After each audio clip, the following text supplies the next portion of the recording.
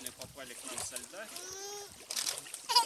и никогда не видели воды вот. и камней, и растительности зеленой. Вот. все это, все, что они сейчас видят, для них достаточно новое обстоятельство, но в принципе два- два-три дня они будут себя приходить, скорее всего, а потом, ну, как мы надеемся, смогут охотиться. То есть у них запас жировой достаточный, чтобы ну, как минимум неделю вообще не питаться. То есть мы надеемся, что за это время,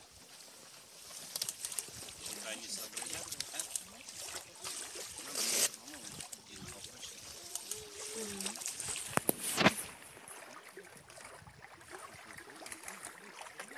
Хорошо, я точно говорю?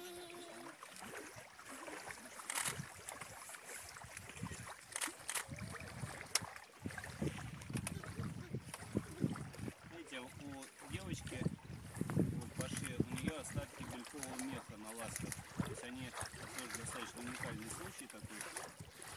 Вот. Слушайте, а можно потом просто расскажете, мы Да-да, запишем? хорошо. Ну, я помню. Ой, Смотрите. вот.